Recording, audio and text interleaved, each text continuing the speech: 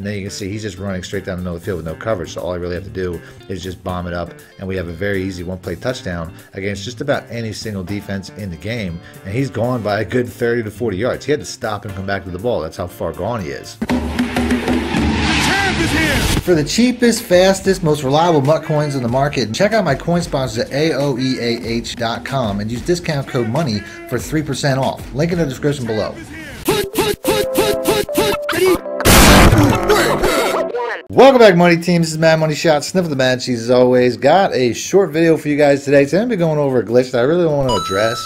Uh, but I've seen so many videos about it now, none of which really had a lot of views. But ultimately, I've seen a glitch that's out. It seems to be getting enough attention that I figured I might as well bring it to my audience. Uh, now, the glitch that I'm going to be showing you guys today, I've seen it called the double pass glitch, the two pass Woo! glitch. To me, it's more like a flea flicker, but it's definitely glitchy. It's definitely something that uh, breaks the defense and something that EA has probably got a patch. So I don't want to basically give it something that's a common football term because it definitely is a glitch. Now, the playbook that I'm in is the Buffalo Bills, uh, although the formation that I'm in is in a lot of different playbooks. Uh, the formation itself is the single back wing slot. I think you can find just about any playbook in the game. The play that I'm going to do this out of, although realistically you can do this out of just about any single formation in the game, just as long as you do this setup I'm going to show you, is the four verticals. So let's go and let's pick that. On the defensive side, it really doesn't matter what you're looking at because this will glitch out the entire defense. So we're just going to go uh, random odd. Now, you're definitely going to want to practice this because there's a lot that can go wrong, but ultimately there's really only two things you need to do that you can make this play work from just about any formation in the game. Number one, you're going to want to put this tight end here on a streak. Uh, you can pretty much put any receiver on a streak. I've done this out of bunch of formations and stuff like that as well. And number two, you're going to want to put this running back here on a swing right. Now, if you guys don't know, that's basically the right stick to the right to do that. Uh, other than that, I like tight end uh, formations like this where there's a tight end in line. You can basically make an additional blocker because ultimately I'm going to be sprinting in the direction of the running back. So it's going to be helpful to have a an additional blocker to basically seal the edge. So at this point, I can either double team this outside guy or I can just slide my protection to the right. I find that double teaming uh, works best. That's something that a lot of people do in a lot of different plays anytime they're trying to run with quarterbacks with escape bars. This is a trick that's been in the game a while.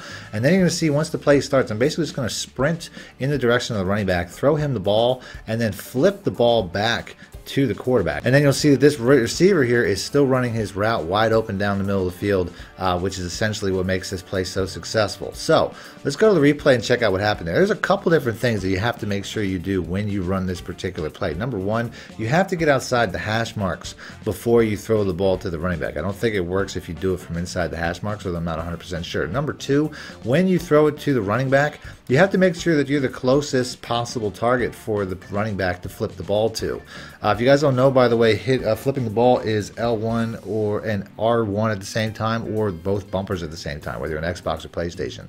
Now, I am the closest target to the running back, so instead of flipping it to a lineman or something like that, which typically can happen, he should flip the ball to me when I do that. So I'm going to hit my bumpers, and you're going to see he flips the ball right back to the quarterback. Now, you, if you look down the field, the two receivers that were running crossing patterns are not doing that anymore. They're blocking.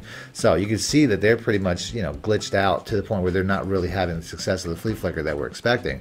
But the tight end that I put on the manual streak is still alive and he's still running his route. That's what makes this play a glitch is the manual streak that you created. And then you can see he's just running straight down the middle of the field with no coverage. So all I really have to do is just bomb it up and we have a very easy one play touchdown against just about any single defense in the game. And he's gone by a good 30 to 40 yards. He had to stop and come back to the ball. That's how far gone he is. So I'll go ahead and I'll do that one more time. Like I said, the swing right, the receiver on a streak are the only things you really need. You have to sprint out, get close to that running back so he gives the ball back to you and not a lineman, and then boom, very easy one play touchdown against any single defense in the game. So I'm gonna go ahead and end the video there. Like I said, a very short video. I didn't, uh, you know, I don't, I don't have like gameplay footage of this and stuff like that because I don't typically run this play. But if you guys want to see so I'm gonna go ahead and end the video there. I don't have gameplay footage of me running this in game because I typically don't run this this play in game. I think this is a little bit cheesy, but if you need a play like this, if you're down late in the fourth quarter something like that, and you need a touchdown, you can't think of anything else, this is definitely a good play to have in your bag. So if you want to see more videos like this, you know videos that are borderline uh, you know glitchier than I really like to put out. Typically the plays that I put out that I say are glitches are just really good design pass plays and stuff like that. But if you want to see more videos like this, as always, hit the like button. Let me know in the comment section. Other than that, thanks for watching. Man, my shit out. Need more help or just want to show your support? Then head over to my Patreon and join my team, where you can get exclusive content like ebooks and bonus plays, as well as early access to my vids and more. Link in the description below.